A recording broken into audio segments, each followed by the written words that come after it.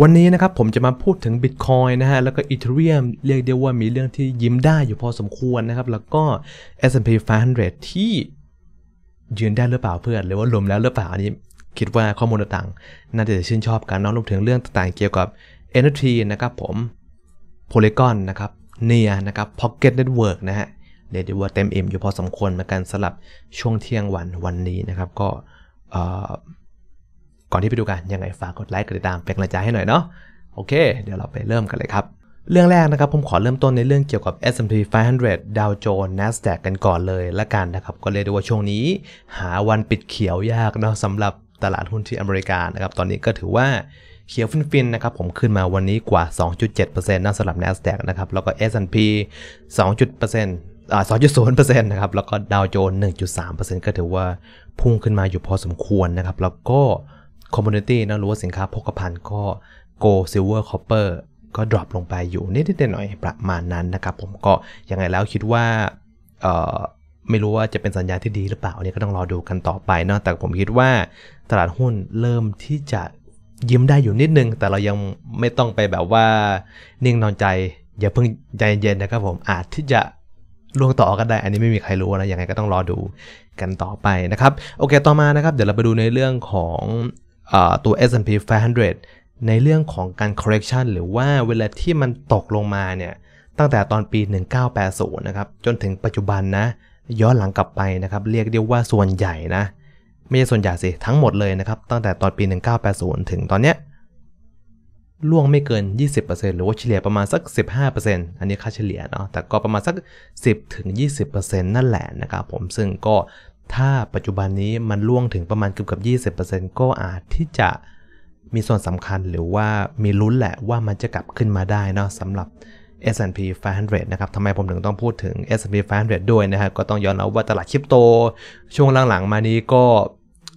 เหมือนแบบค่อนข้างที่จะไปด้วยกัน กับตลาดหุ้นต่างๆ นั่นเองนะ ก็ยังไงรอดูนะครับ ผมว่าตลาดหุ้นจะกลับมายิ้มได้อีกครั้งหรือไม่ เพราะว่าก่อนหน้านี้ต้องยอมรับว่าล่วงยับลงไป แทบจะทุกสินทรัพย์เลยนะครับ ผมก็ยังไงแล้วรอดูกันต่อไปเนาะซึ่งนะครับถ้าเราเข้าไปดูข้อมูลของ S&P 500ในช่วงนี้นะฮะก็คือจะสังเกตนะฮะ ตั้งแต่ตอนช่วงที่จุดพีคประมาณสัก4,700เนาะช่วงนั้นนะครับผมประมาณสักช่วงปลายปลายปีที่แล้วนั่นเองเนาะก็ได้ตกลงมาเรื่อยๆเลยนะครับ ซึ่งตกลงมาถึงจุดต่ำสุดประมาณสัก3,800เนี่ย มันก็คือ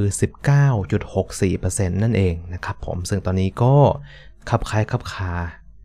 คลับคล้ายคลับคลาว่าเหมือนที่จะ comeback กลับขึ้นมาแล้วหรือเปล่า อ่านี่ก็ต้องรอดู เราก็เอาไปวิเคราะห์ข้อมูลกันต่อเพิ่มเติมนะครับผม รวมถึงถ้าเราเข้าไปดูชาร์ตระยะสั้นๆเนาะระยะ 2 ชั่วโมงนะครับผมก็บิตคอยน์นะครับผมก็เบรกแนวต้านขากดขึ้นมาได้แล้วสำหรับ S&P 500ก็ ทำ inverse head and shoulder เรียบร้อยแล้วนั่นเอง แล้วก็ DXY DXY สำหรับตัวความแข็งของดอลลาร์เนี่ย ก็ชักเริ่ม ชักเริ่ม drop ลงไปนะครับ ผมก็เบรกในส่วนของตัวแนวรับตรงนี้ก็ต้องรอดูนะว่าจะเป็นยังไง แต่อันนี้เป็นชาร์ตระยะสั้นๆนะครับ ต้องรอรอดูชาร์ตระยะยาวอีกทีหนึ่งนะครับผม เพื่อที่จะให้มันให้มันแม่นมากขึ้นเนาะ เพราะว่าระยะสั้นๆบางทีมันอาจที่จะไม่ได้ accurate มาก สักเท่าไหร่นะครับผมก็ลองดูแล้วกันเนาะโอเคต่อมานะครับเดี๋ยวเราไปดูในเรื่องอีกหนึ่งเหรียญที่ไม่ค่อยได้พูดถึงเลยในช่วงหลังแต่เป็นเหรียญใหญ่ก็คือ Ethereum นั่นเองนะครับก็เลยดูว่าข้อมูลจากทาง BTC Field นะฮะก็เป็นการเป็นคู่แพรนะสำหรับ Ethereum คู่ Bitcoin หรือว่าพูดง่ายหรือว่าถ้าเราจะซื้อ Ethereum เนี่ย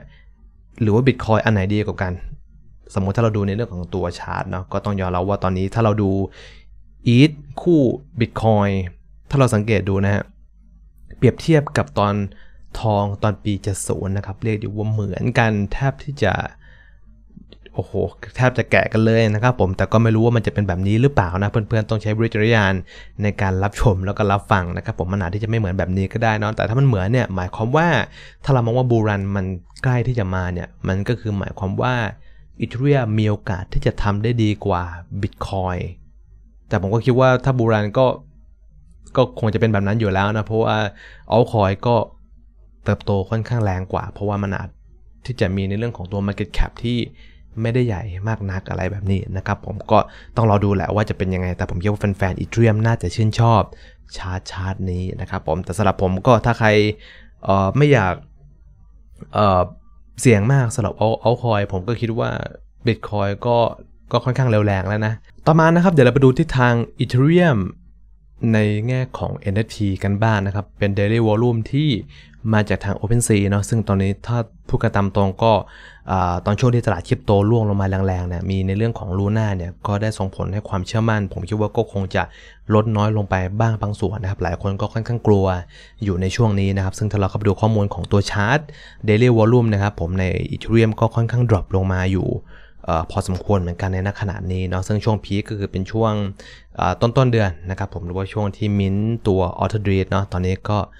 กลับลงมาที่เดิมแล้วนะครับยังไงก็ต้องรอดูว่าสถานการณ์ของ NFT จะเป็นยังไงนะครับผมซึ่งถ้าเราเข้าไปดูข้อมูลของคุณลุกมาตินนะฮะก็ได้เปรียบเทียบสำหรับตัว NFT Marketplace อย่าง Magic Eden หรือว่า Marketplace ที่อยู่บน Solana นะครับแล้วก็ OpenSea นะก็ต้องยอมรับว่าตอนนี้ transaction ต่างๆสำหรับ OpenSea ค่อนข้าง drop นะครับ ก็ต้องรอดูนะว่าจะเป็นยังไง แต่ก็ถ้าเปรียบเทียบกับทาง Solana ยังเติบโตเพิ่มมากขึ้นอยู่นั่นเองนะฮะในขณะนี้ก็ต้องรอดูเนาะสำหรับแฟนๆ NFT อาจจะอยากลองเข้าไปศึกษา โปรเจกต์ต่างๆ ที่อยู่บน Solana อาจจะเป็นในหนึ่งโอกาสก็ได้ แต่ก็ทั้งนั้น อันนี้สุดแท้แล้วแต่บางคนอาจจะชอบ Ethereum อย่างเดียวก็ไม่มีปัญหานะครับแต่ก็ข้อมูลช่วงนี้ถือว่า Ethereum ค่อนข้างดรอปมา อยู่เหมือนกันอาจที่จะเป็นเพราะก่อนหน้านี้มันพีคขึ้นไปแรง แล้วก็โอเพนซีก็มีคู่แข่งเริ่มที่จะมาอยู่พอสมควรแล้วนะครับ มีลูกแร่ด้วยเนาะอาจที่จะดึงเม็ดเงินหรือว่าดึงวอลลุ่มต่างๆ ไปยัง Marketplace ตัวหนึ่งก็เป็นไปได้นะครับยังไงต้องรอดูนะสำหรับสถานการณ์ของ NFT นะฮะถ้าเพื่อนๆคนไหนมีข้อมูลเกี่ยวกับ NFT Marketplace หรือว่าvolume ต่างๆ คอมเมนต์บอกกันมาได้นะครับ เพื่อนๆที่เข้ามาก็จะได้ประโยชน์กันไปนะ อันนี้ก็เป็นทวิตเตอร์ของ Magic Eden นะครับ ก็ลองเข้าไปศึกษา ดูกันสำหรับ NFT ที่อยู่บน Solana นะครับ โอเคต่อมานะครับ เดี๋ยวเราไปดูในเรื่องเอาคอยกันบ้างนนะครับ ผมอย่าง Polygon ล่าสุดทาง E&Y นะครับผมหรือว่า Ernst & Young ก็คืออล่าสุดนะฮะ ได้ทำการจับมือนะครับผม join projectกับทาง Polygon นะครับ ที่จะทำในส่วนของตัว private chain นะสำหรับตัว Polygon Nightfall นั่นเอง ซึ่ง Polygon เนี่ยต้องยอมรับว่าเขามีหลาย Product นะ ถ้าเราดูนะฮะ มี Polygon Proof of Stake Chain นะครับผม Polygon อันนี้ล่าสุดเลยนะ Supernet นะครับ Polygon Zero Polygon Maiden Polygon Hermes Polygon Nightfall เรียกได้ว่าครบทุกเครื่องมือสำหรับการสเกลนะฮะ ก็ถือว่าเป็นหนึ่งสิ่งเนาะ แล้วก็ล่าสุด Nightfall ได้เปิดแล้วนะครับ ซึ่งผมเข้าใจว่าเจ้าที่ประเดิมเลยเนี่ยก็คือเป็น Big 4 ทางด้าน Account นะครับก็เข้ามาถือว่าเป็นบริษัทใหญ่ท็อปโฟเนาะก็ถือว่าเป็นเรื่องที่ดีนะครับสำหรับตัว private blockchain ที่จะสามารถที่จะให้บริษัทห้างร้านต่างๆเนี่ยเข้ามาใช้ประโยชน์จากเทคโนโลยีของ blockchain ในการเอามา track อะไรต่างๆ ได้นั่นเองซึ่งใน for ก็เขาบอกว่าเป็น privacy focus roll up for enterprise นะครับหรือว่าเป็น private blockchain นั่นแหละนะฮะนี่ก็ถือว่าเป็นหนึ่งสิ่งที่โลก blockchain ก็ถูกการ adoption หรือว่านำเข้าไปใช้ใน โลกปัจจุบันหรือว่าธุรกิจปัจจุบันให้มันดีเพิ่มมากขึ้นได้นั่นเองนะอย่างต้องรอดูเนาะว่าเรื่องเรื่องนี้จะส่งผลอะไรต่อราคา Polygon หรือเปล่า แต่ผมคิดว่า Polygon เจ๋งมาก ๆ นะฮะ เรียกได้ว่ามีอยู่หลายเรื่องหลาย Product นะครับผม จะ scale Ethereum ก็มีนะครับผม จะเป็น Supernetทำเชนแยกย่อยของตัวเองก็จัดให้นะฮะใน for private blockchain ก็ก็มีเช่นเดียวกัน ก็เพียบนะครับผมก็รอดูแล้วกันนาะสำหรับตัวโปรเจกต์โพล y g o n คิดว่าแฟนๆโพล y g o n น่าจะชื่นชอบข่าวข่าวนี้กันนะครับ โอเคต่อมานะครับ เดี๋ยวเราไปดูในเรื่องอีกหนึ่งโอคอยก็คือเนียนะครับ ล่าสุดได้จับมือกับทาง Pocket Network หรือว่าเหรียญ P อ่า CK มั้งเฮ้ย PCT เออประมาณนั้นนะครับผมก็